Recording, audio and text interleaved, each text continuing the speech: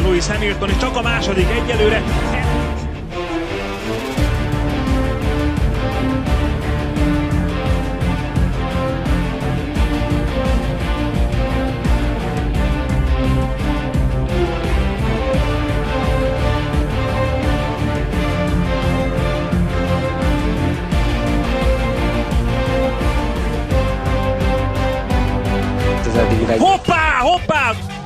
Ricardo, Fiat, Fiat, új, de összetörik Fiat, talán még